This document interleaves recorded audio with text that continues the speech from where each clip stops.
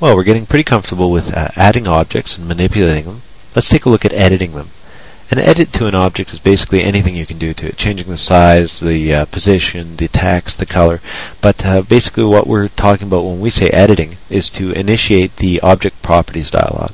That's where you can make some really meaningful edits. So let's go and drag a button in here from the gallery. We'll take the orange parallel, drag it out and we'll look at the first way that we can initiate that properties dialog. And that is to double click on this object. So we'll just with the left mouse button double click it and we get the button properties dialog and we can go ahead and do some edits here.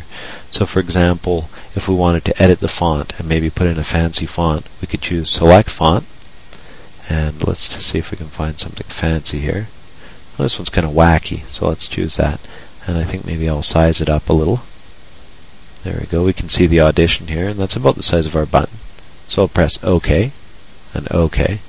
And as you can see, we've we've gone ahead and edited our button there. So that was the first way of initiating that properties dialog, and was to double click on the button. So I'm going to press Control Z to get back where we were, and I'm going to look at a second way here, and that is to right click on the button and choose the properties option.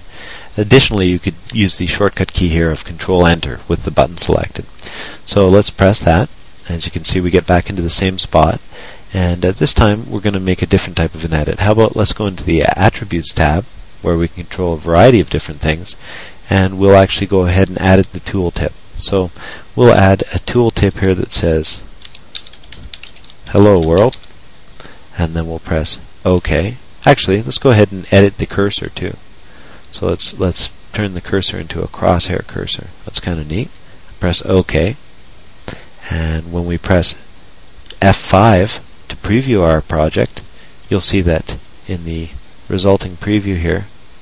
Oh, we forgot to. Uh, I'm going to close this. We forgot to remove that action from our earlier lesson, actually, in sizing. So I'll go ahead and remove that and press OK. There we go. Now we'll press F5 to preview. Okay, so you can see here that we've got our button, and when we hover over it, we see the words Hello World, which we typed into the tooltip edit, and we see the crosshair.